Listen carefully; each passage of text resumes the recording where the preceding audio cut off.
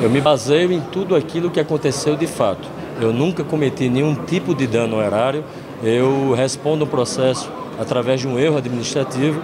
Estou com absoluta tranquilidade com relação a esse processo e logo todos vocês vão ter acesso às informações necessárias provando a minha inocência.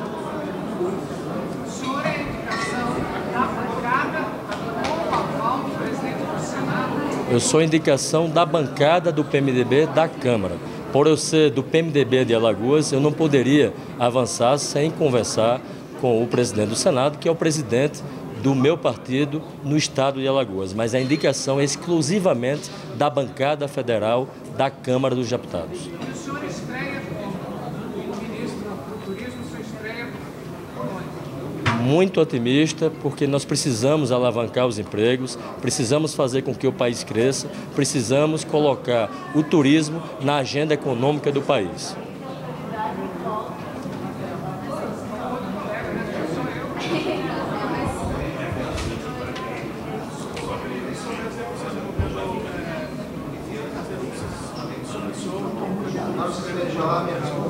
Eu